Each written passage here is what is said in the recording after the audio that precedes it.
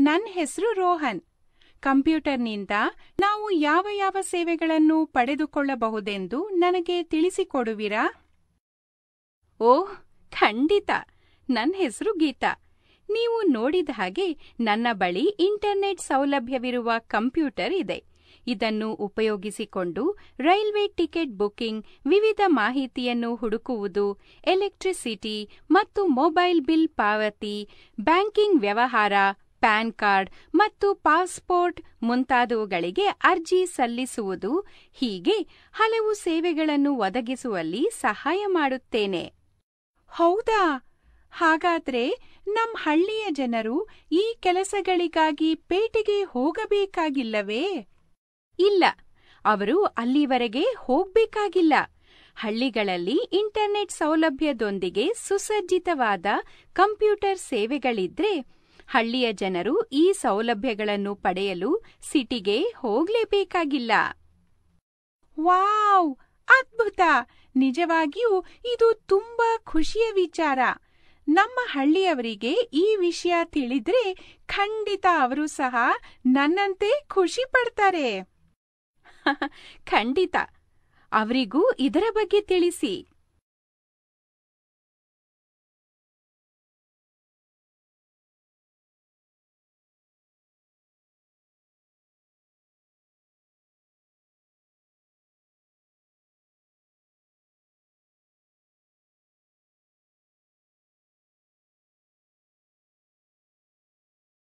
ಹೌದು, ಖಂಡಿತ. ಅಷ್ಟು ದೂರ ಹೋಗದೆ ಇಲ್ಲಿಂದಲೇ ನೀವು ನಿಮ್ಮ ವಿದ್ಯುತ್ ಬಿಲ್ ಅನ್ನು ಪಾವತಿ ಮಾಡಬಹುದು.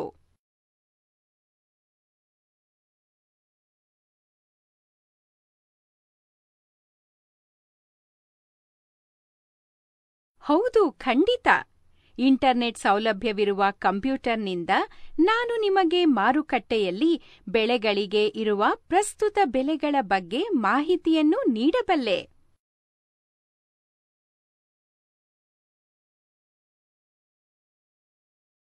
ಹೌದು, ಇಂಟರ್ನೆಟ್ನ ಮೂಲಕ ನೀವು ಎಲ್ಲಾ ತರಹದ ಮಾಹಿತಿಗಳನ್ನು ನೀವಿರುವ ಹಳ್ಳಿಯಿಂದಲೇ ಪಡೆದುಕೊಳ್ಳಬಹುದು. ಇಂಟರ್ನೆಟ್ ಸೌಲಭ್ಯ ಮೊಬೈಲ್ನಲ್ಲೂ ಲಭ್ಯವಿದೆ ಎಂದು ನಾನು ಇತ್ತೀಚೆಗೆ ಕೇಳಲ್ಪಟ್ಟೆ. ಇದು ನಿಜವೇ? ಹೌದು ರೋಹನ್, ಮೊಬೈಲ್ ಫೋನ್ ಅಷ್ಟೇ ಅಲ್ಲ, ಇತ್ತೀಚಿನ ದಿನಗಳಲ್ಲಿ ಅನೇಕ ಜನರು ಇಂಟರ್ನೆಟ್, ಸಂಪರ್ಕ ಇರುವ ಟ್ಯಾಬ್ಲೆಟ್ ಮತ್ತು ಸ್ಮಾರ್ಟ್ಫೋನ್ಗಳನ್ನು ಅನೇಕ ಉದ್ದೇಶಗಳಿಗೆ ಕಂಪ್ಯೂಟರ್ ಅನ್ನು ಎರಡು ಭಾಗಗಳಾಗಿ ವಿಂಗಡಿಸಲಾಗಿದೆ. ಅವು ಹಾರ್ಡ್ವೇರ್ ಅಂದರೆ ಯಂತ್ರಾಂಶ ಮತ್ತು ಸಾಫ್ಟ್ವೇರ್, ಅಂದರೆ ತಂತ್ರಾಂಶ. ಕಂಪ್ಯೂಟರ್ ಮತ್ತು ಅದಕ್ಕೆ ಸಂಬಂಧಿಸಿದ ಎಲ್ಲಾ ಸಲಕರಣೆಗಳನ್ನು ಹಾರ್ಡ್ವೇರ್ ಎಂದು ಕರೆಯುತ್ತಾರೆ. ಕಂಪ್ಯೂಟರ್ನಿಂದ ಕೆಲಸ ಪಡೆಯಲು ಕಂಪ್ಯೂಟರ್ಗೆ ಕೊಡಲಾಗುವ ನಿರ್ದೇಶನಗಳನ್ನು ಸಾಫ್ಟ್ವೇರ್ ಎನ್ನುವರು. ಅಂದ್ರೆ, ಈ ಸ್ಕ್ರೀನ್ ಮೇಲೆ ಕಾಣುತ್ತಿರುವ ಐಕಾನ್ಗಳು ಸಾಫ್ಟ್ವೇರ್ಗಳೇ? ಹೌದು ರೋಹನ್ ಅದು ಕೆಲಸವನ್ನು ನಿರ್ವಹಿಸುವಂತೆ ಕಂಪ್ಯೂಟರ್ಗೆ ಕೊಡಲಾಗುವ ಪ್ರೋಗ್ರಾಂ ಅನ್ನು ಸಾಫ್ಟ್ವೇರ್ ಅನ್ನುತ್ತಾರೆ ಈಗ ನಾವು ಕಂಪ್ಯೂಟರ್ನ ವಿವಿಧ ಡಿಸೈನ್ ಬಗ್ಗೆ ತಿಳಿಯೋಣ. ಕಂಪ್ಯೂಟರ್ ಮೂರು ಡಿವೈಸ್ಗಳನ್ನು ಒಳಗೊಂಡಿದೆ.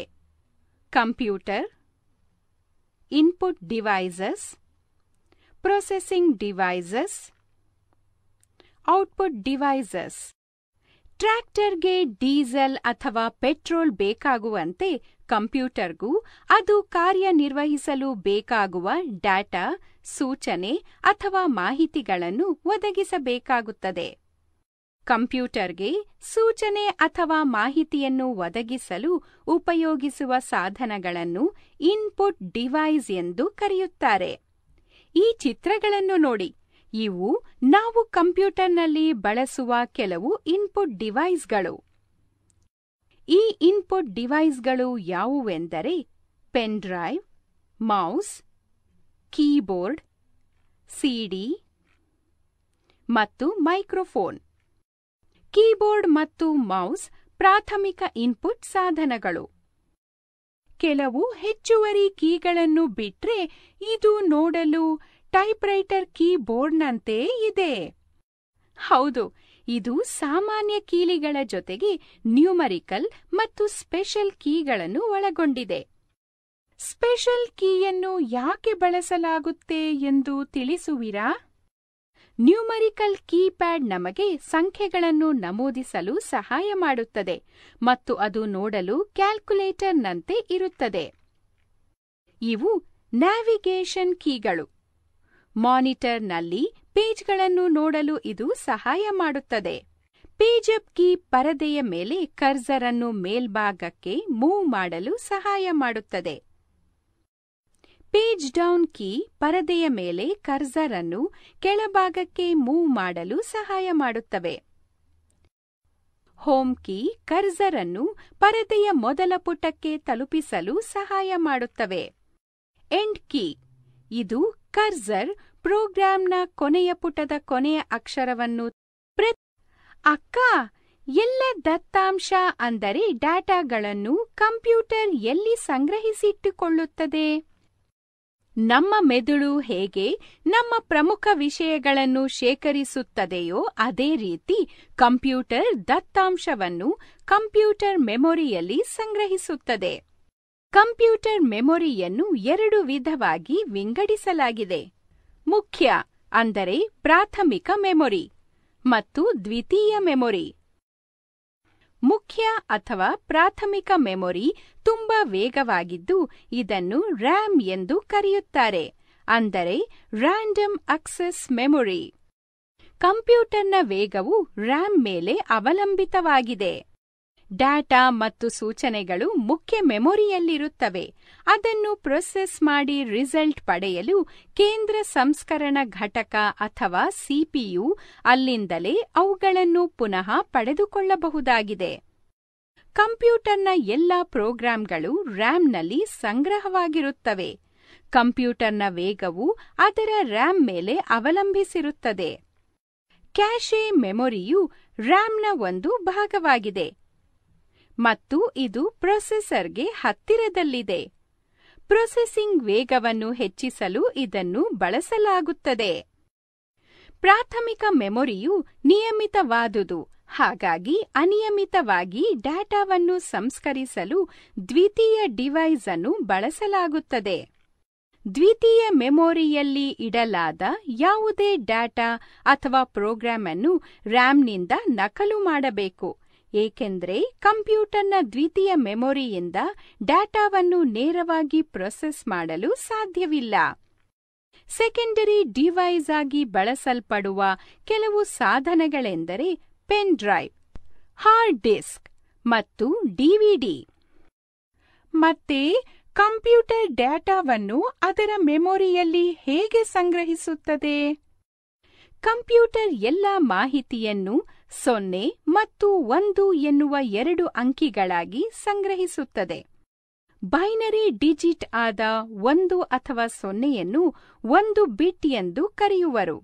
ಎಂಟು ಬಿಟ್ಗಳು ಸೇರಿ ಒಂದು ಬೈಟ್ ಆಗುತ್ತದೆ. ಈ ಕೋಷ್ಟಕವನ್ನು ನೋಡಿ. ಇದು ಬಿಟ್ ಮತ್ತು ಬೈಟ್ಗಳಿಗಿರುವ ಸಂಬಂಧವನ್ನು ತಿಳಿಸುತ್ತದೆ. ಹಾರ್ಡ್ವೇರ್ ಅನ್ನು ನಿಯಂತ್ರಿಸಲು ಮತ್ತು ಕಾರ್ಯನಿರ್ವಹಣೆಗೆ ಬಳಸುವ ಸೂಚನೆಗಳನ್ನು ಸಾಫ್ಟ್ವೇರ್ ಎಂದು ಕರೆಯಲಾಗುತ್ತದೆ. ಏನು ಮತ್ತು ಹೇಗೆ ಮಾಡಬೇಕು ಎಂಬುದನ್ನು ಕಂಪ್ಯೂಟರ್ ನಿರ್ದೇಶಿಸಲು ಮತ್ತು ಸೂಚನೆಗಳನ್ನು ಕೊಡಲು ಅನುಕೂಲವಾಗುವಂತೆ ಸಾಫ್ಟ್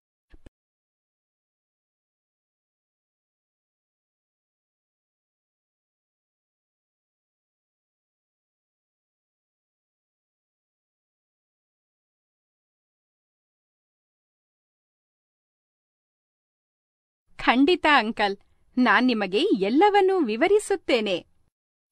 ಮೊದಲಿಗೆ ಕಂಪ್ಯೂಟರ್ನ ವಿವಿಧ ಭಾಗಗಳ ಬಗ್ಗೆ ತಿಳಿಯೋಣ. ಇದು ಮಾನಿಟರ್. ಇದು ನೋಡಲು ಟಿವಿಯಂತೆ ಕಾಣುತ್ತದೆ. ಹಾಗೂ ಔಟ್ಪುಟ್ ಅನ್ನು ಸ್ಕ್ರೀನ್ ಮೇಲೆ ತೋರಿಸಲು ಇದನ್ನು ಬಳಸುತ್ತಾರೆ. ಇದನ್ನು ಸಿಸ್ಟಮ್ ಯೂನಿಟ್ ಬಾಕ್ಸ್ ಎಂದು ಕರೆಯುತ್ತಾರೆ. ಇದು ಸೆಂಟ್ರಲ್ ಪ್ರೊಸೆಸಿಂಗ್ ಯೂನಿಟ್ ಅಥವಾ ಸಿಪಿಯುವನ್ನು ಒಳಗೊಂಡಿದೆ. ಸಿಪಿಯು ಕಂಪ್ಯೂಟರ್ನ ಮೆದುಳು ಎಂದು ಕರೆಯುತ್ತಾರೆ. ಇವು ಕೀಬೋರ್ಡ್ ಮತ್ತು ಮೌಸ್. ಇವೆರಡು ಕಂಪ್ಯೂಟರ್ಗೆ ಡಾಟಾವನ್ನು ಎಂಟರ್ ಮಾಡಲು ಬಳಸುವ ಔಟ್ಪುಟ್ ಡಿವೈಸ್ಗಳಾಗಿವೆ. ಕಂಪ್ಯೂಟರ್ ಅನ್ನು ಜೋಡಿಸಲು ಮೊದಲಿಗೆ ಕಂಪ್ಯೂಟರ್ ಅನ್ನು ಮೇಜಿನ ಮೇಲೆ ಇಡಬೇಕು. ನಂತರ ಸಿಸ್ಟಮ್ ಯೂನಿಟ್ ಅನ್ನು ಸೆಟ್ ಮಾಡಬೇಕು. ತದನಂತರ ಮಾನಿಟರ್ ಅನ್ನು ಸೆಟ್ ಮಾಡಬೇಕು. ಸಿಸ್ಟಮ್ ಯೂನಿಟ್ನ ಹಿಂಭಾಗವನ್ನು ನೋಡಿ. ಇದರಲ್ಲಿ ವಿವಿಧ ಡಿವೈಸ್ಗಳನ್ನು ಕನೆಕ್ಟ್ ಮಾಡಲು ಬೇಕಾದ ಸ್ಲಾಟ್ಗಳಿವೆ. ಈಗ ಈ ರೀತಿ ಮಾನಿಟರ್ಗೆ ಕಂಪ್ಯೂಟರ್ ಅನ್ನು ಜೋಡಣೆ ಮಾಡಬೇಕು. ಸಿಸ್ಟಮ್ ಯೂನಿಟ್ನಲ್ಲಿರುವ ವಿಡಿಯೋ ಪೋರ್ಟ್ ಅನ್ನು ವಿಜಿಎ ಪೋರ್ಟ್ ಎಂದು ಕರೆಯುತ್ತಾರೆ. ವಿಜಿಎ ಕೇಬಲ್ನ ಒಂದು ತುದಿಯನ್ನು ಸಿಸ್ಟಮ್ ಯೂನಿಟ್ಗೂ ಮತ್ತೊಂದು ತುದಿಯನ್ನು ಮಾನಿಟರ್ಗೂ ಕನೆಕ್ಟ್ ಮಾಡಬೇಕು. ಎರಡು ರೀತಿಯ ಕೀಬೋರ್ಡ್ ಅನ್ನು ನಾವು ಕಾಣಬಹುದು. ಅವು ಪಿಎಸ್ ಬೈ ಟು ಕನೆಕ್ಟರ್ ಅಥವಾ ಯುಎಸ್ಬಿ ಕನೆಕ್ಟರ್. ಕೀಬೋರ್ಡ್ ಅನ್ನು ಸಿಸ್ಟಮ್ ಯೂನಿಟ್ಗೆ ಕನೆಕ್ಟ್ ಮಾಡಲು ಕೊಟ್ಟಿರುವ ಕನೆಕ್ಟರ್ ಅನ್ನು ಸಿಸ್ಟಮ್ ಯೂನಿಟ್ನ ಪೋರ್ಟ್ಗೆ ಕನೆಕ್ಟ್ ಮಾಡಬೇಕು. ಕಂಪ್ಯೂಟರ್ ಮೌಸ್ನಲ್ಲಿ ಮೂರು ಬಗೆಯ ಕನೆಕ್ಟರ್ ಅನ್ನು ಕಾಣಬಹುದು. PS by two connector, USB connector ಅಥವಾ ಸೀರಿಯಲ್ ಕನೆಕ್ಟರ್. ಮೌಸ್ ಅನ್ನು ಕನೆಕ್ಟ್ ಮಾಡಲು ಕನೆಕ್ಟರ್ ಅನ್ನು ಸಿಸ್ಟಮ್ ಯೂನಿಟ್ನ ಸೂಕ್ತ ಪೋರ್ಟ್ಗೆ ಜೋಡಿಸಿ. ಅದೇ ರೀತಿ ನೀವು ಪ್ರಿಂಟರ್ ಅನ್ನು ಅಳವಡಿಸಬೇಕಾದರೆ ಪ್ಯಾರಲಲ್ ಪೋರ್ಟ್ ಅಥವಾ ಯುಎಸ್ಬಿ ಪೋರ್ಟ್ ಎರಡರಲ್ಲಿ ಒಂದನ್ನು ಸಿಸ್ಟಮ್ ಯೂನಿಟ್ಗೆ ಕನೆಕ್ಟ್ ಮಾಡಿ.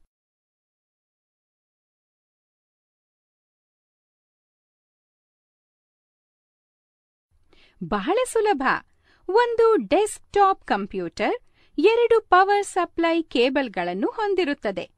ಮೊದಲಿಗೆ ಒಂದು ಪವರ್ ಸಪ್ಲೈ ಕೇಬಲ್ ಅನ್ನು ಈಗಾಗಲೇ ತಿಳಿದಿರುವಂತೆ ಬೇಸಿಕ್ ಮೊಬೈಲ್ ಫೋನ್ ಕೇವಲ ಕರೆಗಳನ್ನು ಮಾಡಲು ಮತ್ತು ಸ್ವೀಕರಿಸಲು, ಸಂದೇಶಗಳನ್ನು ಕಳುಹಿಸಲು ಮತ್ತು ಸ್ವೀಕರಿಸಲು ಉಪಯೋಗಿಸುವ ಒಂದು ಸಾಧನವಾಗಿದೆ.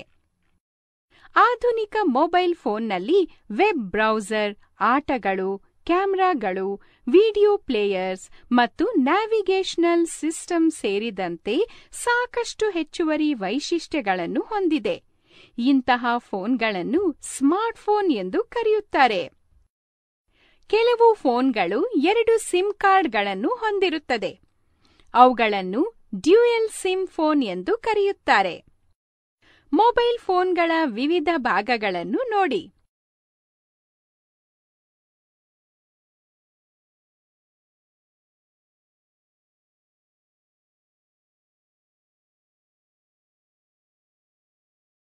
ಖಂಡಿತವಾಗಿಯೂ ಅಂಕಲ್. ಅದಕ್ಕಾಗಿ ಈ ಹಂತಗಳನ್ನು ಅನುಸರಿಸಿರಿ. ಮೊದಲಿಗೆ ಫೋನ್ ಸ್ವಿಚ್ ಆಫ್ ಮಾಡಿ. ನಂತರ ಹಿಂದಿನ ಕವಚವನ್ನು ತೆರೆಯಿರಿ. ನಂತರ ಮೊಬೈಲ್ನೊಳಗೆ ಬ್ಯಾಟರಿ ಇದ್ದರೆ ಅದನ್ನು ಆಚೆ ತೆಗೆಯಿರಿ. ಈಗ ಸಿಮ್ ಸ್ಲಾಟ್ಗೆ ಸಿಮ್ ಅನ್ನು ಅಳವಡಿಸಿರಿ. ತದನಂತರ ಪುನಃ ಬ್ಯಾಟರಿಯನ್ನು ಮೊದಲಿನ ಹಾಗೆಯೇ ಹಾಕಿರಿ. ಕೊನೆಗೆ ಹಿಂಭಾಗದ ಕವಚವನ್ನು ಹಾಕಿ ಫೋನ್ ಅನ್ನು ರೀಸ್ಟಾರ್ಟ್ ಮಾಡಿ.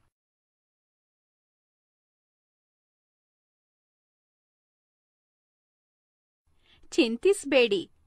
ಬ್ಯಾಟರಿಯನ್ನು ಚಾರ್ಜ್ ಮಾಡಲು ಈ ವಿಧಾನವನ್ನು ಅನುಸರಿಸಿರಿ. ಮೊದಲು ಚಾರ್ಜರ್ ಅನ್ನು ಗೋಡೆಯಲ್ಲಿರುವ ಸ್ವಿಚ್ ಬೋರ್ಡ್ಗೆ ಪ್ಲಗ್ ಮಾಡಿ. ನಂತರ ಚಾರ್ಜರ್ ಅನ್ನು ಫೋನ್ಗೆ ಸೇರಿಸಿ. ಕೆಲವು ಸಮಯದ ಅಂದರೆ ನಿಮ್ಮ ಮೊಬೈಲ್ ಬ್ಯಾಟರಿ ಫುಲ್ ಎಂದು ತೋರಿಸಿದಾಗ ಫೋನ್ನಿಂದ ಚಾರ್ಜರ್ ಅನ್ನು ತೆಗೆಯಿರಿ. ನಂತರ ಸ್ವಿಚ್ ಬೋರ್ಡಿಂದ ತೆಗೆಯಿರಿ. ಬನ್ನಿ, ಈಗ ನಾನ್ ನಿಮಗೆ ಮೊಬೈಲ್ ಬಟನ್ಗಳನ್ನು ಲಾಕ್ ಮತ್ತು ಅನ್ಲಾಕ್ ಮಾಡುವುದನ್ನು ಹೇಳಿಕೊಡುತ್ತೇನೆ. ಅಂಕಲ್ ದೀರ್ಘಕಾಲದವರೆಗೆ ಅದನ್ನು ಬಳಸದೇ ಇದ್ದಾಗ ಫೋನ್ ಬಟನ್ ಲಾಕ್ ಮಾಡುವುದು ಯಾವಾಗಲೂ ಉತ್ತಮ. ಅದಕ್ಕೆ ಅನುಸರಿಸಬೇಕಾದ ಹಂತಗಳು ಹೀಗಿವೆ. ಫೋನ್ ಕೀಗಳನ್ನು ಲಾಕ್ ಮಾಡಲು ಮೊದಲಿಗೆ ಮೆನು ಬಟನ್ ಅನ್ನು ಒತ್ತಿ, ನಂತರ ಸ್ಟಾರ್ಟ್ ಕೀಯನ್ನು ಒತ್ತಿ. ಅನ್ಲಾಕ್ ಮಾಡಲು ಮೊದಲಿಗೆ ಅನ್ಲಾಕ್ ಬಟನ್ ಅನ್ನು ಒತ್ತಿ, ನಂತರ ಸ್ಟಾರ್ಟ್ ಬಟನ್ ಅನ್ನು ಒತ್ತಿ. ನನ್ನ ಬಳಿ ಹೊಸ ಮೊಬೈಲ್ ಇದೆ. ಆದ್ರೆ ನನಗೆ ಇದರ ವೈ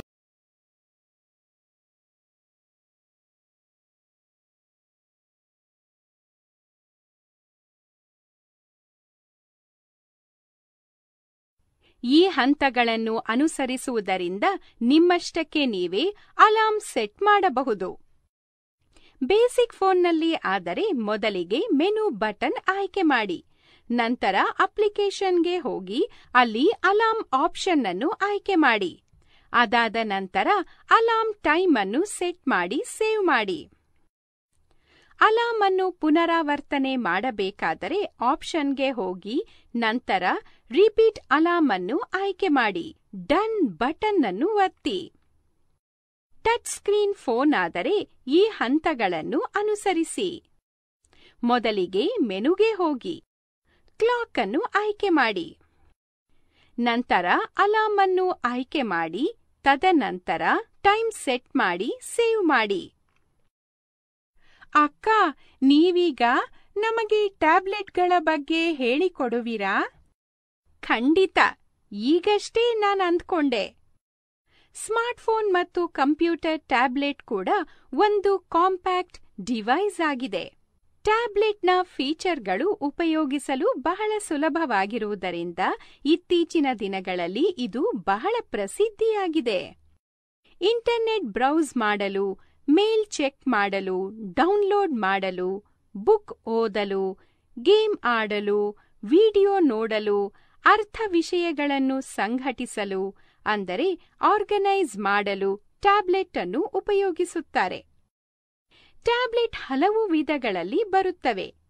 ಅವುಗಳಲ್ಲಿ ಇವು ಕೆಲವು ಒಂದು. ಬುಕ್ಲೆಟ್. ಪಿಸಿ ಟ್ಯಾಬ್ಲೆಟ್ನ ಅತಿ ಸರಳವಾದ ರೂಪವಾಗಿದೆ. ಇದು ನೋಡಲು ಬುಕ್ನಂತೆ ಇರುತ್ತದೆ. ಈ ಡಿವೈಸ್ನಲ್ಲಿ ಎರಡೂ ಕಡೆ ಡಿಸ್ಪ್ಲೇ ಇದೆ ಮತ್ತು ಎರಡೂ ಕಡೆ ಟಚ್ ಸ್ಕ್ರೀನ್ ಕಾರ್ಯರೂಪದಲ್ಲಿದೆ. ಈ ಡಿವೈಸ್ ಕೈ ಬರಹವನ್ನು ಗುರುತಿಸುವ ಸಾಫ್ಟ್ವೇರ್ ಅನ್ನು ಹೊಂದಿದ್ದು ನೀವು ಪೇಪರ್ನ ಮೇಲೆ ಬರೆದಂತೆ ಇದರ ಮೇಲೆ ಬರೆಯಬಹುದಾಗಿದೆ. ಸ್ಲೇಟ್ ಇದು ಒಂದು ಅತ್ಯಂತ ಸಾಮಾನ್ಯ ಮತ್ತು ಪೋರ್ಟಬಲ್ ವಿಧದ ಟ್ಯಾಬ್ಲೆಟ್ ಪಿಸಿ ಆಗಿದೆ. ಸಾಮಾನ್ಯವಾಗಿ ಚಲನಚಿತ್ರಗಳನ್ನು ವೀಕ್ಷಿಸಲು ವೆಬ್ ಬ್ರೌಸ್ ಮೂಲಕ ವಿಡಿಯೋಗಳನ್ನು ವೀಕ್ಷಿಸಲು, ವಿಡಿಯೋ ಕರೆಗಳನ್ನು ಮಾಡಲು ಮತ್ತು ಸ್ನೇಹಿತರೊಂದಿಗೆ ಚಾಟ್ ಮಾಡುವುದು ಹೀಗೆ ಇದನ್ನು ಮನರಂಜನಾ ಕೇಂದ್ರವಾಗಿ ಬಳಸಲಾಗುತ್ತದೆ. ಪರಿವರ್ತಕ, ಅಂದರೆ ಕನ್ವರ್ಟಿಬಲ್ ನೋಡಲು ಟ್ಯಾಬ್ಲೆಟ್ಗಳು ಬಹುತೇಕ ಒಂದು ಸಾಂಪ್ರದಾಯಿಕ ಲ್ಯಾಪ್ಟಾಪ್ನಂತೆ ಕಾಣುತ್ತದೆ. ಇವೆರಡಕ್ಕೂ ಇರುವ ಪ್ರಮುಖ ವ್ಯತ್ಯಾಸವೆಂದರೆ ಇದು ನೂರ ಎಂಬತ್ತು ಡಿಗ್ರಿ ತಿರುಗಿಸಲು ಸಾಧ್ಯವಾಗುವ ಟಚ್ ಸ್ಕ್ರೀನ್ ಡಿಸ್ಪ್ಲೇಯೊಂದಿಗೆ ಬರುತ್ತದೆ. ಹೈಬ್ರಿಡ್ ಟ್ಯಾಬ್ಲೆಟ್ ಸ್ಲೇಟ್ ಮತ್ತು ಕನ್ವರ್ಟಿಬಲ್ ಟ್ಯಾಬ್ಲೆಟ್ನಲ್ಲಿರುವ ಅತ್ಯುತ್ತಮ ವೈಶಿಷ್ಟ್ಯಗಳನ್ನು ಒಳಗೊಂಡಿದೆ. ಹೈಬ್ರಿಡ್ ಟ್ಯಾಬ್ಲೆಟ್ ಜೋಡಿಸಬಹುದಾದ ಒಂದು ಕೀಬೋರ್ಡ್ನೊಂದಿಗೆ ಬರುತ್ತದೆ. ಇದರ ಸಹಾಯದಿಂದ ಸುಲಭವಾಗಿ ಹೈಬ್ರಿಡ್ ಟ್ಯಾಬ್ಲೆಟ್ನಿಂದ ಕನ್ವರ್ಟಿಬಲ್ ಪಿಸಿ ಟ್ಯಾಬ್ಲೆಟ್ ಆಗಿ ಪರಿವರ್ತಿಸಿಕೊಳ್ಳಬಹುದು. ಟ್ಯಾಬ್ಲೆಟ್ ಕಠಿಣ ವಾತಾವರಣ ಇರುವ ಪರಿಸ್ಥಿತಿಗಳಲ್ಲಿ ಕೆಲಸ ಮಾಡುವ ಬಳಕೆದಾರರಿಗೆ ಅತ್ಯಂತ ಸೂಕ್ತವಾಗಿದೆ. ಇದರಲ್ಲಿ ಆಘಾತ ನಿರೋಧಕ ಆಂತರಿಕ ಹಾರ್ಡ್ ಡ್ರೈವ್ ಮತ್ತು ಸುರಕ್ಷಿತ ಶೆಲ್ ಇರುವುದರಿಂದ ಇದು ಅತ್ಯಂತ ಬಾಳಿಕೆಯಾದವುಗಳಾಗಿವೆ. ನೀವು ಮುಖ್ಯವಾಗಿ ನೆನಪಿನಲ್ಲಿಡಬೇಕಾದ ವಿಷಯವೆಂದರೆ ಡಿವೈಸ್ ಅನ್ನು ಮೊದಲ ಬಾರಿಗೆ ಬಳಸುವಾಗ ಸುಮಾರು ಆರರಿಂದ ಎಂಟು ಗಂಟೆಯವರೆಗೆ ಅಥವಾ ಪ್ರತಿ